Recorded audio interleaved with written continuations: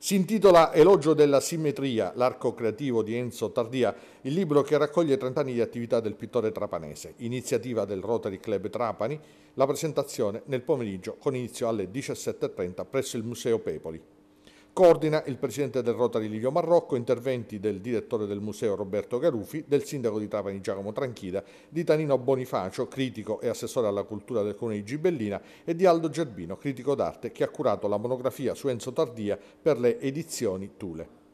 Nel libro, scritti di critici e curatori pubblicati in occasione di esposizioni personali e collettive, nonché estratti da corrispondenze private con altri artisti, testimonianze e immagini relative all'arco temporale che va dalla fine degli anni Ottanta ad oggi. Nel libro anche un'antologia critica che raccoglie testi di critici e giornalisti come Renzo Bertoni, Dario Micacchi o ancora Giorgio Celli e Andrea Romoli Barberini, poeti come Lucio Zinna e Franco Campeggiani, mentori come Ugo Attardi e Turi Sottili ricca la documentazione fotografica.